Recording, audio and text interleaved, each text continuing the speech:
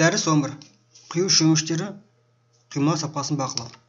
Дәріс жоспары құю шөміштері қалыптарды құрастыру және балқытумен құю. Құймаларды салқындату қағымдау және тазарту. Құймалардың өңдеу операцияларын және сапасын бақылау. Құймалар сапасын бақылау. Құю шөміштері тасымалдау тәсілдеріне байланысты қолмен монорельсті және кранды тасымалдау. Ал пішіні бойынша конустық және барабанды ал құю тәсілі бойынша тұмсықты шөміш шәйнекті шөміш тоқтатқыш шөміш деп бөледі. Сапты шөміш қасықтарды бір саппен бір жұмысшы тасымалдау және құю үшін дайындайды. Олар сұйық шойынның 6-20 кг сыйымдылықта болады. Сыйымдылығы 80-100 кг дейін неғұрлым ірі қол шөміштерін ерекше зембілдерді екі үш немесе төрт жұмысшы тасымалдайды. Шөміштерді пісірілген болат қаңылтырдан дайындайды. Олардың ішін 20 мм қалыңдықта қымы бар сазбен сылайды. Монорельсті шөміштерді электр немесе қол тальдарымен аспалы жол арқылы тасымалдайды. Екінші суретте монорельсті конустық шәйнекті шөміш көрсетілген. Онда диаметрі 40 мм сифон арнасы қабырғаны шегендеуде салынған шамоттан жасалған құбырлар көмегімен орындалған. Соңғы жағдайда шөміш аспасы шөмішті биіктікте орнату мақсатында көтеру және түсіру үшін айла бұйым болады. Шөмішті құю кезінде тұтқамен немесе бұрылыс механизмі көмегімен бұрылады. Монорельсті шөміштерді әдетте құю конвейерлерге қалыпты құю үшін қолданылады. Олар сыйымдылығы 100 килограммнан және олдан жоғары шойын конустық және барабанды түрде болады.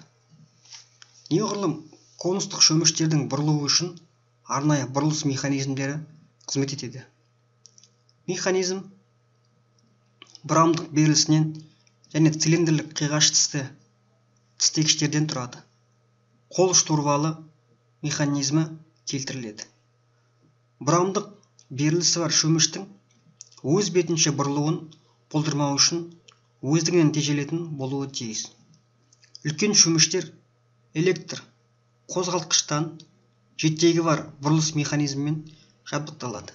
Шәйнекті конустық шөміштер қожды бөлу үшін ара жабын түбіне жетпейтін шегінделген түрде болады.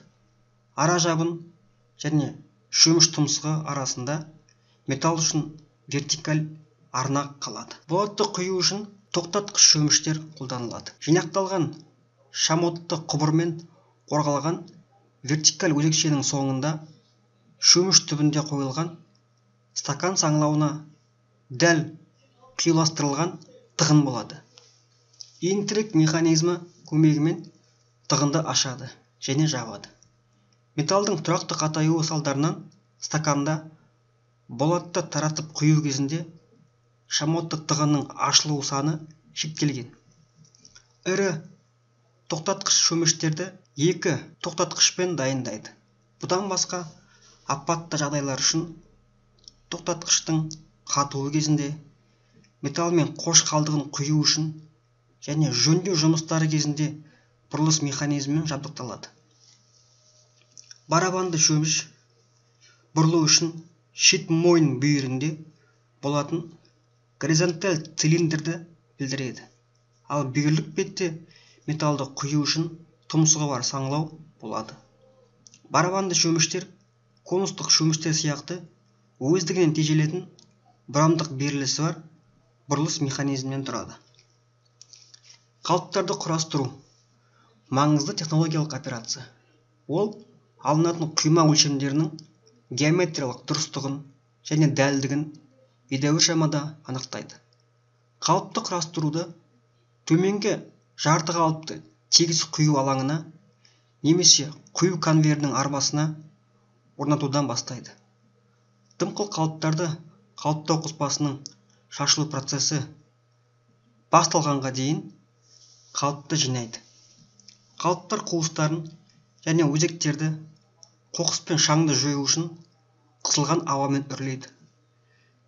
Өзектерді технологиялық картада көрсетілген жүйеде қалыпқа орнатады. Егер өзек қалыпты таңбалар бойынша тұрақты қалыпқа орнатыла алмаса онда оны металл тіреулер тіреуішіктермен бекітеді. Тіреуішіктерді қаңылтыр темірден болат және шойын дайындамалардан жасайды. Тіреуішіктердің беті тоттан бос болуы тиіс. Бұл олардың құйма денесінде болған кезінде балқытпамен жақсы пісірілуі үшін қажет. Тіреуішіктер конструкциясының мысалдары алтыншы суретте көрсетілген.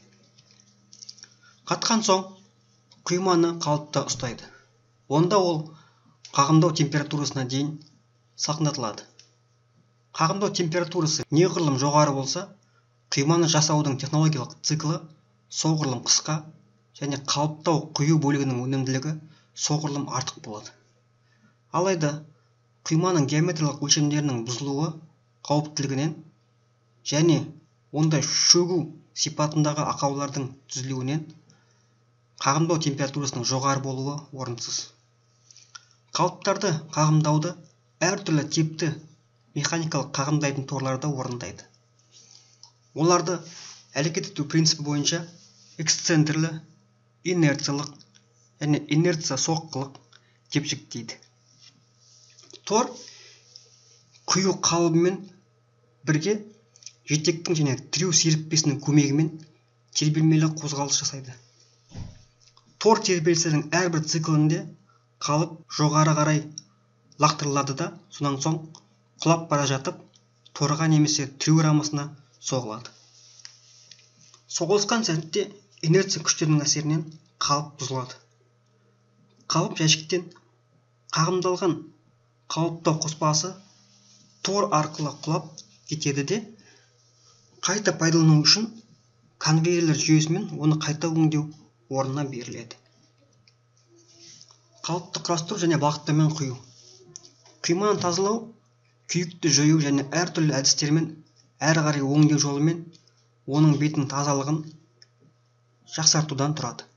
Қалыптың таңбалық бөліктері және ажырандысы бойынша құймаларды тазалау мен құйма жапақшаларын тазартудың негізгі әдістерінің принциптік сұлбалары сегізінші суретте көрсетілген. Тазалауды оюлаумен бытырамен атумен дірілдік және электр химиялық өңдеумен ал тазартуды жемірлі дөңгелектермен және электр түйіспелік әдіспен жүргізуге болады. Тазалау үшін жабдықтарды таңдау құймалардың өлшемдеріне және өндірістің сериялығына байланысты болады. Құймалардың өңдеу операцияларын және сапасын бақылау. Олар бірінші қағымдау. Қағымдау дегеніміз қалыптан құймаларды құю кезінде негізгі бақылайтын параметрлер құйма температурасы болып табылады.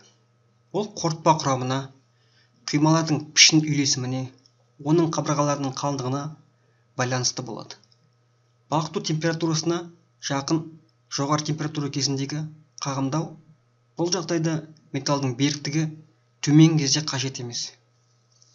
Төменгі температура кезінде құйманың шөгуі қалыптар мен өзекте кедергі тудырушы ішкі кернеу пайда болуы мүмкін. Кесу. Қағымдаудан кейін құю жолдарын асымдарды технологиялық кенермені алып тастау қажет.